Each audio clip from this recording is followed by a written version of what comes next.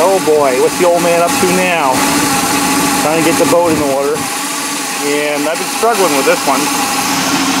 And had to go on a couple levels of analysis more than usual. But a couple things kind of screwed me up. First being,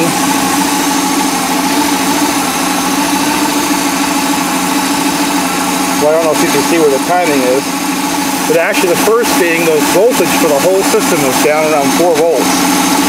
So I kind of had to wire a way around that because I didn't have enough voltage to run the ignition system actually. So look at that. That thing is up there around, let me think. Oh boy. Four, eight, well, 12 at least degrees advanced. That's too far. So I've got to retard the timing from. Might be why it's hard to start. But the second thing I have to do is to see whether or not those uh, weights in that distributor are actually flinging out and changing the timing the way it's supposed to. But looking at that, I'm, I've got some things to worry about for let's get the timing right. I put a set of points in there and I set the gap at 18 thousandths.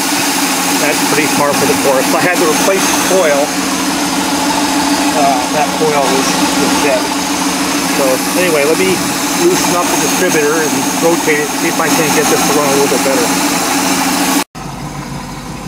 Alright, we got Nice oil pressure, 40 pounds. Nice idle at 700 RPMs. The engine temperature is holding at about 160 now after a little bit of time. Let's see if the timing advances when I give it some throttle.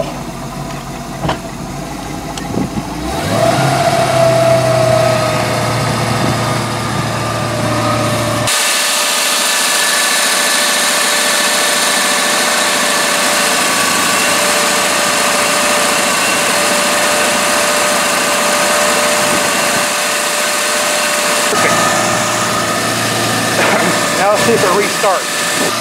Part problem I've been having with it is the restarts. Because the idle was set too high with the timing and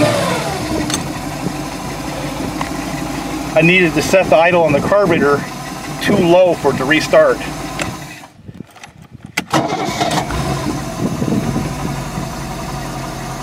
So I need to give it just a little bit more idle.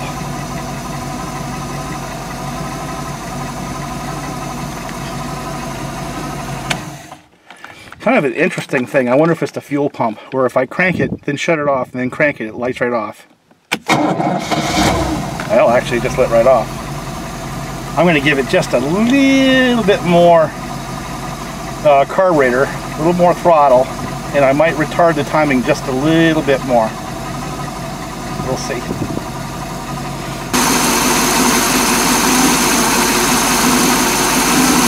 So what I do is I brought the timing down just a little bit, and then over here, I adjusted the throttle up just a little bit to see if I can't get it to fire off a little quicker.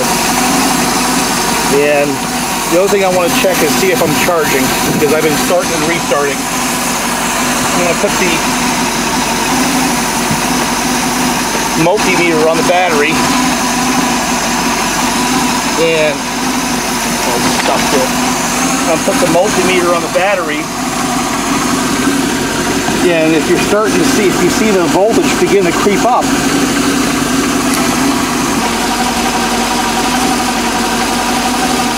well, it's already at 14 volts, so it's not going to get any higher than that. So what that means is it's charging. Let's shut it off and restart it and see if I'm happy with the way it goes. Now the spec says five or 600 RPMs and I've got it at just about six. All right.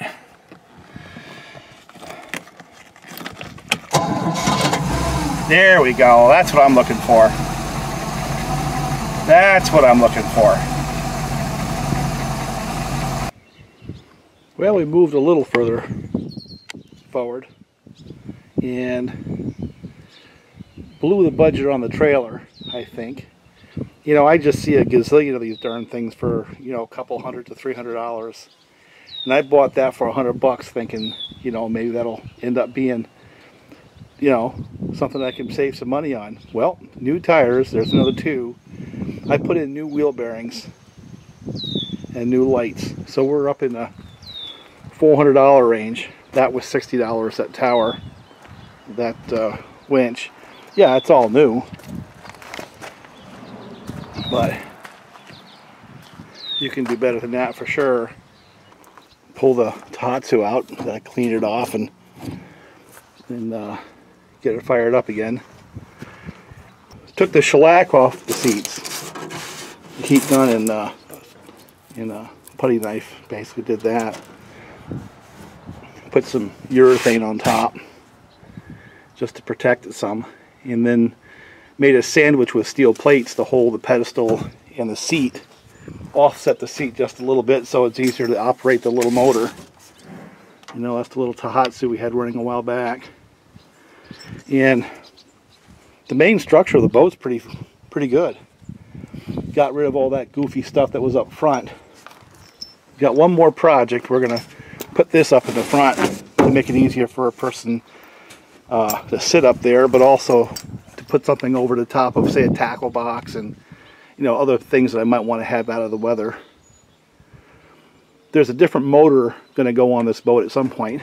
I have a 15 horse Johnson that I'm getting the parts to convert it into a short shaft and it's going to go on as well. And I don't know. I mean, it's just a little aluminum boat. I just about matched the budget I was looking for. I was looking to have it fish ready for $750. All right. And it's pretty close. I'm going to redo the transom. Um, just get a piece of wood there. That's going to happen, I guess, in a day or so. That Tohatsu came from the landfill. Someone threw it away because it, it wouldn't run, and I think I did a little segment on that where once I put a fuel pump in there, got the oil out of the fuel pump and carb, it ran just fine. So, so what's next? Um, gonna finish the front seat. Gonna put that white thing up in there. Get a couple of life vests and then go do sea trials, I guess. And uh, that'll move it. I don't know if it's going to actually jump up on plane. The thing that makes me laugh about this is this boat is actually rated for 40 horsepower. Let me see if it'll show the tag on film here. I don't think 40 horsepower is going on this boat.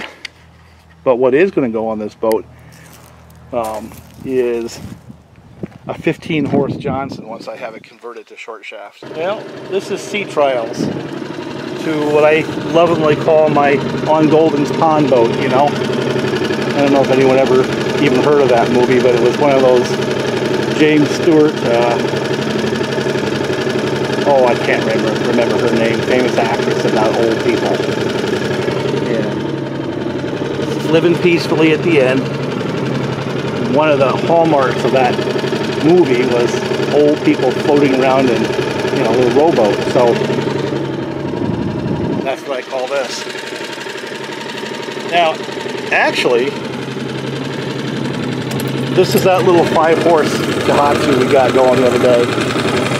You know, I just want to see if it's pumping good and you can see from the stream that it is. And I'm not going to try to catch a fish today. I just want to go through the process of getting it in and out of the water. Now what we've done is we stripped the seats and put some polyurethane on it and mounted a little pedestal for me to fish off of when I get to calm waters. And today I think the mission is just to get a feel for the area. It's pretty shallow water. And I might put the fish finder out and just see what we have for a, for a facility here. This is Whitney Point Reservoir. Pretty famous. Let's just see what this thing does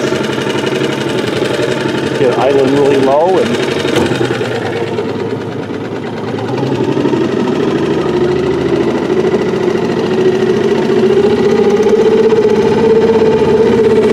being a one cylinder it's not exactly smooth and being five horsepower certainly not going to set the world on fire things we have in New York State often is horsepower limited ponds.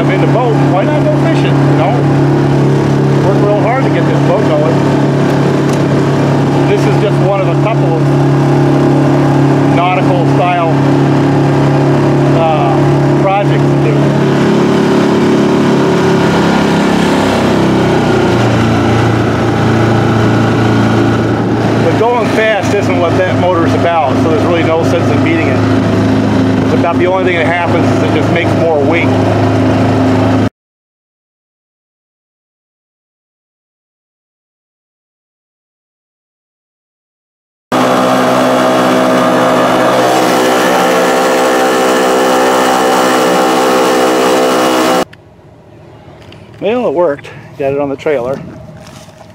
Gotta tidy up the straps a little bit.